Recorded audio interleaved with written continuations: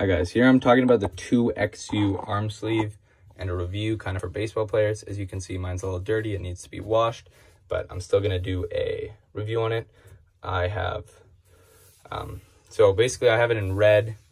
It's a really, really nice arm sleeve. I actually got on sale, but the material of this, it's not normal. So I don't know if you guys, it's not super easy to see, but it's super tight.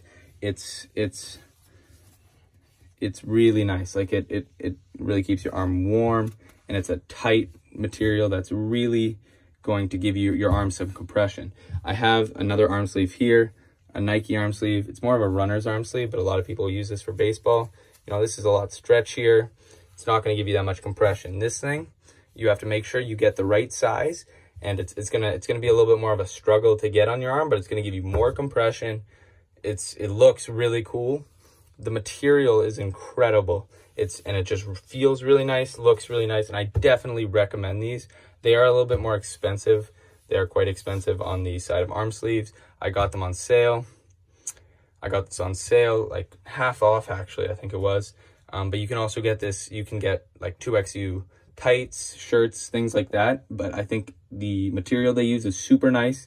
It feels super nice, and I highly recommend this to anyone baseball players or if you're looking for good arm sleeves, uh, it's just really nice. Um, so yeah, I definitely recommend it. If you have any other questions, let me know in the comments.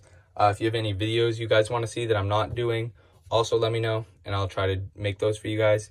And please subscribe, like the video. Thanks for watching. Bye.